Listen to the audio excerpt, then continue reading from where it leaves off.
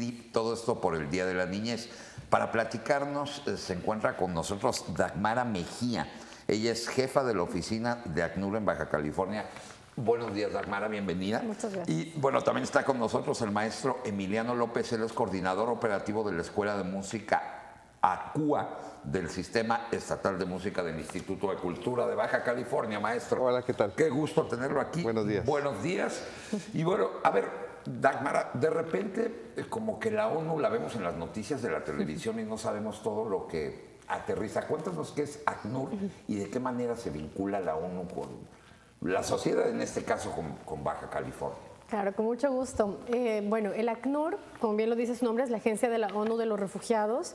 Es una agencia especializada del Sistema de Naciones Unidas que tiene un mandato para apoyar a los estados a brindar una respuesta cuando hay eh, personas refugiadas, es decir, personas que se han visto obligadas a salir de su país de origen por algún tipo de riesgo, de persecución, violencia y que no pueden volver porque su vida estaría en riesgo si regresan. Entonces necesitan encontrar un nuevo lugar donde reconstruir su vida. Y bueno, México en la última década en realidad ha, ha, se, está, se, ha estado convirtiendo en un país de recepción de personas eh, refugiadas que piden protección al gobierno mexicano para poder reconstruir sus vidas acá. Esto eh, lo hemos visto incrementándose masivamente en los últimos años. Eh, el año pasado fue un año récord en el que 140 mil personas de más de 100 países solicitaron protección como personas refugiadas en, en México. Y, y, también, digamos, la tendencia ha cambiado, porque, claro, antes eran más hombres solos que migraban por razones económicas, y esa es la diferencia entre un migrante y un refugiado, que el migrante lo que, lo que busca, bueno, se mueve de manera voluntaria, busca tal vez eh, moverse por razones económicas o de reunificación familiar, por diferentes razones, pero siempre de manera voluntaria y puede regresar a su lugar de origen. El refugiado no puede, y existen eh, tratados internacionales y leyes nacionales que protegen a esas personas contra la devolución y que les permiten pedirle protección al Estado mexicano para reconstruir su vida. Eh, en Baja California específicamente empezamos a tener presencia en 2018 a raíz de, de, las caravanas que llegaron y se quedaron aquí por la política de quédate en casa de, de Estados Unidos. Eh, porque bueno, había una situación humanitaria importante que se necesitaba responder y, las y bajo invitación del gobierno mexicano eh, empezamos a tener presencia tres agencias de la ONU, eh, ACNUR, OIM, que es la Organización Internacional para las Migraciones, y UNICEF, que es la, el Fondo de Naciones Unidas para la Infancia, y las tres colaboramos justamente para eh, poder, por un lado, brindar una respuesta humanitaria, pero por otro también protección y servicios de integración a la población. Nosotros, en específico las personas refugiadas, que en este momento son en realidad la gran mayoría de las personas de movilidad. Eh, de estudios que hicimos el año pasado, el, cerca del 70-80% de la población en movilidad mencionó que eran personas refugiadas, es decir, que no podían regresar a su país de origen. Eh, también hemos visto un incremento importante de personas desplazadas mexicanas que también, al igual que los refugiados, salen por una eh, situación de violencia y no pueden regresar a su lugar de origen y claro, la diferencia es que no han cruzado una frontera internacional, por eso no son refugiados, pero las causas eh, de su desplazamiento son las mismas. Son refugiados, refugiados, en su propio país. Así es. Sí. Exacto. Ahora, y ojalá podamos seguir hablando a detalle porque las estadísticas son claras. Muchos de estas personas eh, son, son niños, son, son, son menores, ¿no? Platíquenos un poquito acerca de este concierto, maestro.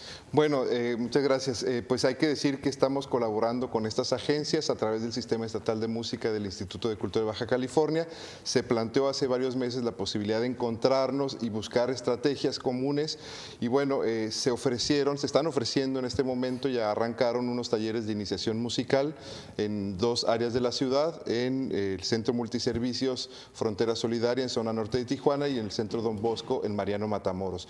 Es una, es una experiencia nueva para nosotros, colaborar de esta forma con varias agencias y dar atención a niñas, niños y adolescentes migrantes, refugiados y población de acogida. Eso es muy importante decirlo porque un poco el objetivo general es integrar eh, a, a, esta población. Ahora, en esa, digamos, dinámica, estamos también ofreciendo algunos conciertos que van a ser como, digamos, espacios donde también las familias y otros eh, posibles ciudadanos o, o, población de estas características acuda y vamos a arrancar con este concierto con la Orquesta de Baja California que dirige el maestro Armando Pesqueira, una orquesta renovada, una orquesta que acaba de pasar por un proceso de audiciones, de incorporación de nuevos músicos, eso es muy bonito poderlo decir, eh, y que también la Orquesta de Baja California hoy por hoy ya es también parte de la administración de, este gobierno, es parte del Instituto de Cultura de Baja California, entonces vamos como una entidad eh, profesional de músicos a brindar un concierto de Gabilondo Soler, un compositor este, pues, que ha transitado por muchas generaciones, desde nuestros abuelos, padres, nosotros, nuestros hijos, conocen al ratón vaquero, a la patita, a los tres cochinitos, por supuesto el, grillo cri-cri. Entonces, eh, pues son eh, algunos personajes que vale la pena recuperar sus letras, es pues música viva, música eh, tocada, digamos, con instrumentos acústicos. Se va a llevar a cabo en este centro multiservicios Frontera Solidaria que está en la calle Venustiano Carranza, 660 250 en la colonia Castillo, un lugar emblemático, histórico de nuestra ciudad.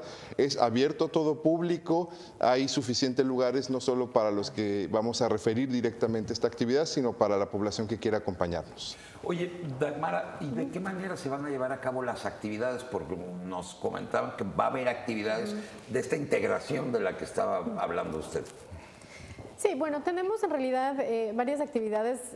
La principal es el concierto, pero queríamos aprovechar la, la oportunidad para también hablar justamente sobre el hecho de que en Tijuana hay personas refugiadas que están, es más, nacionalizándose, eh, naturalizándose y, se están volviendo mexicanas, eh, que hay personas que viven aquí, eh, niños en especial en las escuelas, hay, digamos, no todos están de paso, muchos están quedando y están haciendo de Tijuana su hogar, entonces es un espacio para sensibilizar la población, para que se encuentre, como decía Emiliano, y hay algunas actividades alrededor que pensábamos como...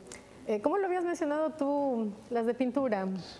Eh, bueno, este, queremos, eh, eh, para ese día estamos invitando a que se haga un mural con los niños que van a, asistir, que se lleven una plantilla con los personajes de, emblemáticos de Cricri para que los puedan colorear, pero sobre todo que se apropien de esa actividad y que sea una actividad no solo de concierto para escuchar, sino como lo hemos propuesto con las agencias, que en la medida de lo posible todas nuestras actividades sean de participación comunitaria. Muy activos, ¿no? Muy activos. ¿Qué significa UBA, maestro? Bueno, este, hemos hecho un esfuerzo por recuperar nuestros vocablos de lenguas originarias y encontramos por ahí en el diccionario que uva en Quiligua es casa. Entonces, pues este es un territorio que habla muy bien desde sus, desde sus eh, pueblos originarios acerca de conceptos que para nosotros son importantes todavía hoy en día, como el hogar o la casa. Excelente, digo, porque dije, no, tiene, sé que significa casa, pero no sabía de dónde era, era el vocablo. Pues les agradecemos muchísimo, eh, creo que es bien importante y qué bueno, felicidades que, que, lo hacen de una manera más integradora, ¿no? A través de esas actividades como la música, como lo es el arte. ¿Algún otro mensaje aprovechando? Porque de pronto eh, vemos este tema de la movilidad como si fuera algo lejano y estamos viviendo en una frontera, ¿no? Sí, sí, claro. Es decir, aquí hombro a hombro estamos todos, eh, digamos, viviendo juntos, ¿no? Porque en las escuelas estamos juntos, en los trabajos estamos juntos, en el día a día. Eh, tal vez compartir un poco el, mm, mensaje también de que este centro multiservicios en realidad es un proyecto pionero a nivel nacional. Eh, que comenzó en Baja California. Eso es algo que también creo que debemos todos sentirnos muy orgullosos porque el nivel de colaboración que ha habido aquí entre los tres niveles de gobierno, la sociedad civil y los organismos ha sido fantástico y es un lugar en donde cualquier persona que esté en movilidad y también la población local puede acercarse para obtener diferentes servicios gratuitos desde, bueno, si es extranjero y quiere comenzar un proceso de asilo porque no puede volver a su lugar de origen, la Comar se encuentra ahí. Eh, servicios legales, psicosociales, médicos, dentales, vinculación laboral, vinculación escolar, eh, digamos, entre otros como actividades eh, culturales. Están disponibles ahí de 9 a 12 del día. En, en, la Venustiano Carranza, como mencionó Emiliano, y les invitamos a todos, por favor, que este viernes nos acompañen en este concierto, que, digamos, es una de las actividades también justamente de integración y de compartir en comunidad que queremos organizar. Perfectamente bien, pues ahí está la invitación hecha el viernes. ¿A qué hora se inicia? A las 5 de la tarde, vamos a abrir la puerta desde las 4 y agradecemos profundamente al grupo Salesianos que son también eh, la gente que nos acoge en este espacio, los anfitriones. Bueno, pues estaremos muy pendientes, todo el éxito del mundo y qué gusto me da que se estén llevando este tipo, pues es una colaboración mundial por los refugiados que se encuentran en nuestra ciudad. Muchas gracias. Muchas gracias. Vamos a hacer una pequeña pausa. No se vayan.